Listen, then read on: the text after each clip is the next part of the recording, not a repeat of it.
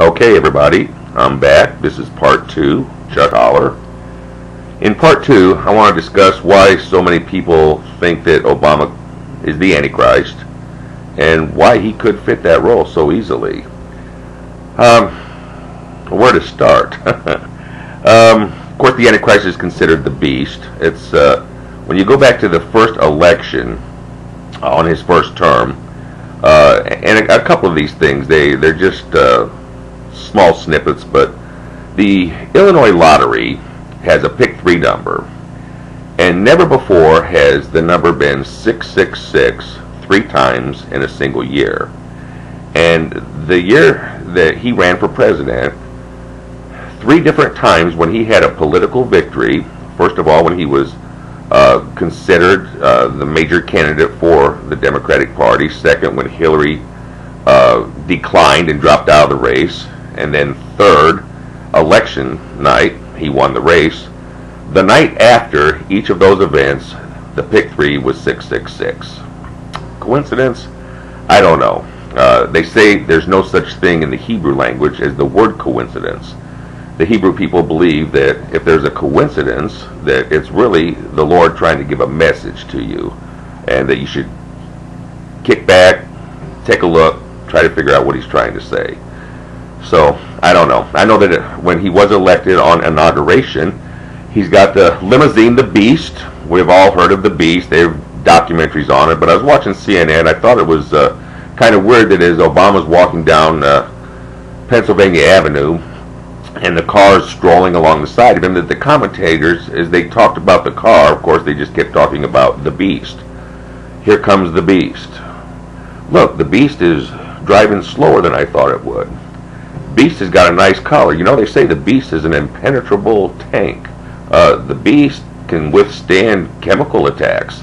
And it just went on and on. If they said Beast once, they said Beast 20 times. So, anyway, neither here nor there. Um, little uncanny, his name was Obama. Um, you know, before that, it was, uh, we had different presidents. We had Ronald Reagan and Bill Clinton and you know, this is the nation that they rule. This was a Clinton nation. This was a Reagan nation. And of course, all of a sudden, now we're an abomination. That's a pun on words, but kind of cute.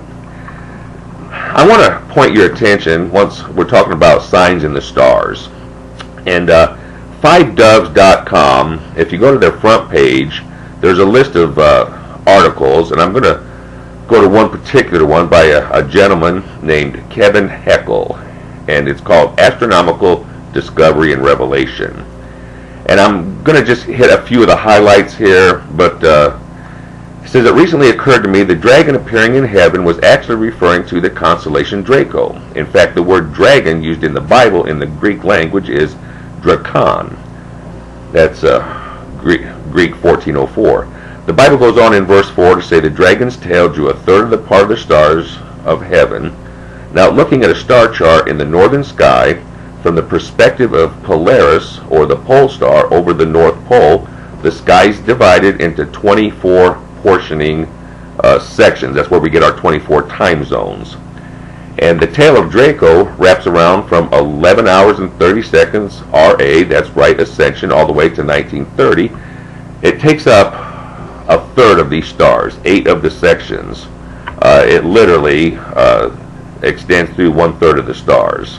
Uh, kind of like the scriptures say. I'm going to move on down here. You should go ahead and read this for yourself. The description in Revelation 13 of the Antichrist describes a beast rising out of the sea, having multiple heads, seven, between the equator, the bottom of the horizon, and the ecliptic. It's the constellation Hydra. And as he goes on to describe this here, he describes the uh, the feet of a bear and the mouth of a lion, and uh, as this tail of Draco goes through each of each of these constellations, uh, spotted like a leopard, um, and you go through all of these.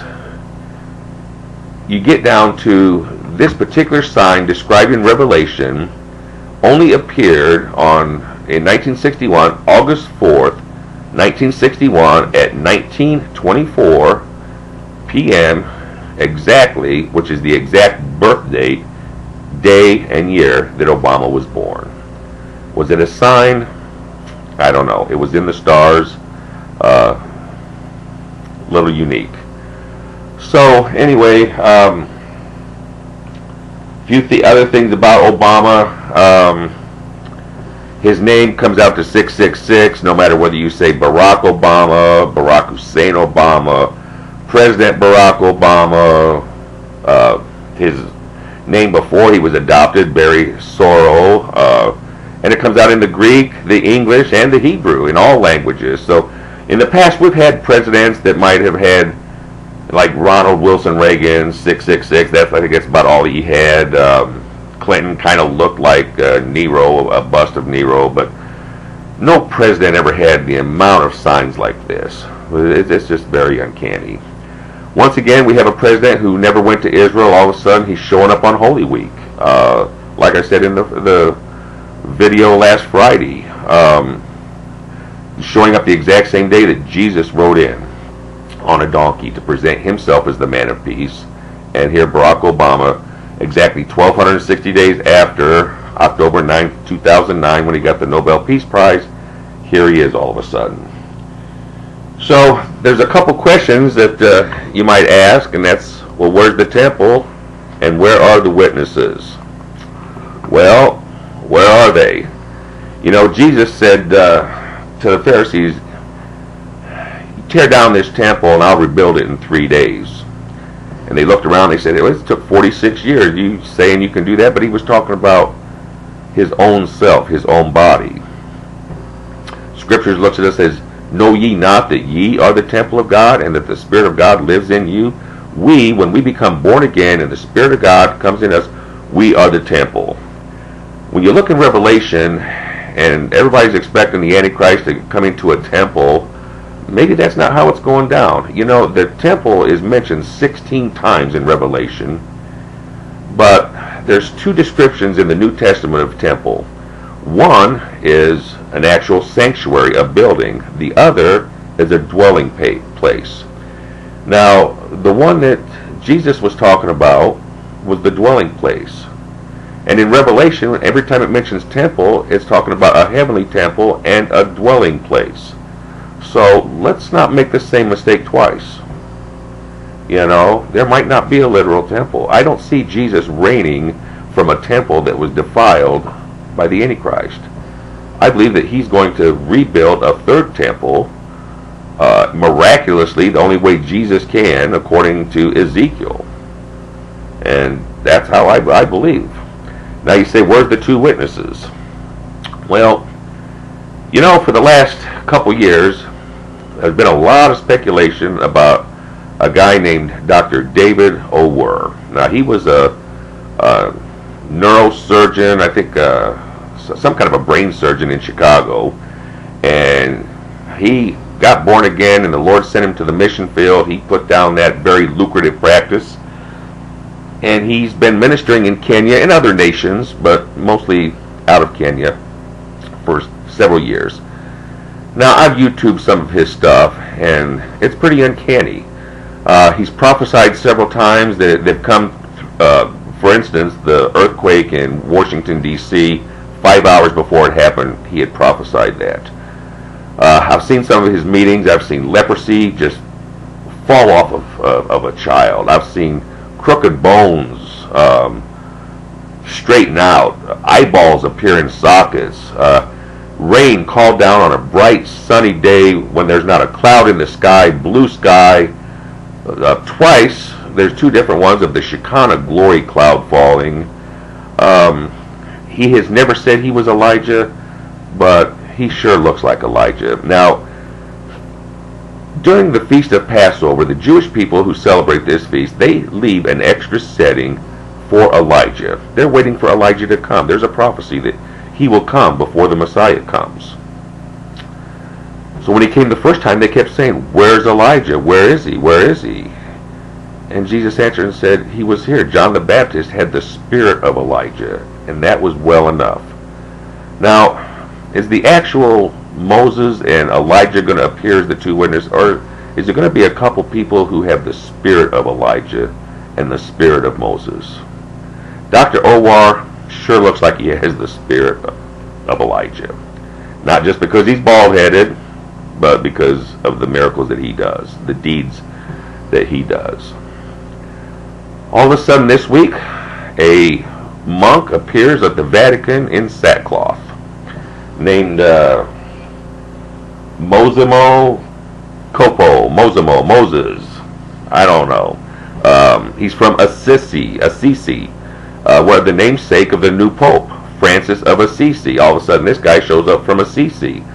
You've got Obama, and where's his counterpart namesake? From Kenya. I don't know. It's kind of weird. Um, we'll see if these are the two witnesses. If they are, they should all come together next week in Jerusalem, in the Holy Lands, all at the same time. The Pope, Obama, the two witnesses should all be there. We'll see. Uh, I think that's all I have to say. Uh, interesting times, folks. Keep looking up. If you don't know Jesus as your Savior or you're not living the life that you should, you know, why am I putting this video out? I consider myself a watchman. Um, you know, you get a crown for just watching, and it's a pretty easy thing to do. Uh, there's a lot harder things to do. Forgiveness, that's pretty hard when you've been hurt by somebody, especially somebody you love. But to watch, that's a pretty easy one. And uh, there's a, some benefits right here, and one of them is that he won't come on you like a thief in the night. You know, people say, well, no man knows the day or the hour. You have no idea how often I hear that one. But you know what? They take that one scripture and they want to run with it when there's a half a dozen other ones that say, watch. You are not of the night, you are of the day. You will know when he's coming. Revelation 3 3. If you don't watch, I'll come like you like a thief in the night. Can you imagine a thief in the night in your house? I don't know about other states, but here, burglary carries three to five. Home invasion means someone broke into your house and you were there. That's an automatic 20 years because it's a very dangerous thing to do to break into your home when you're there. A thief in the night, it's, pretty scary, pretty scary, and that's the uh, idiom that Jesus used. It's going to be, if you don't see it coming, is it going to? Are you going to know the day or the hour? If you just knew the week, you know, um, John in in First John it says, you know, we don't know what we'll be like, but we know that when He appears, we'll be like Him and we'll purify ourselves to be like that. So if you knew that he was coming next week or I mean you would take those little sins you have in your life because everybody has them and you'd start making those deals with the Lord like Lord help me get rid of these. Help, help me to live the way I'm supposed to I will try not to do it anymore and all you have to do is try because the blood cleanses from all sin if you if you sin he's you confess it with your mouth he's faithful to forgive you there's nobody who has done too much to be forgiven. Some, I've, you know, some people say, "Well, I've done too much bad." Really, the Apostle Paul was killing Christians. You've been killing some Christians lately. Not only was he forgiven, he got to write two thirds of the New Testament. So I would say that anybody can be forgiven. What do you? Oh, I. You don't know what you do. You'd lose all your friends. You'd no. You'd have the best friend ever, Jesus. And you don't know it now, but if you ever just took the step, he would be there. So now more than ever, it's time to make a choice. You know, it's going to be very obvious during the Ken Peters uh, video on I Saw the Tribulation. He said one thing that was obvious is that during the tribulation, it was very apparent who served him and who didn't. The lines are drawn. No more fence walking. You're going to have to make a choice. You're going to have to make a choice. And if you make it before the catching away, you will not have to suffer the wrath of God. So, that's the end of part two. God bless you. Have a good day.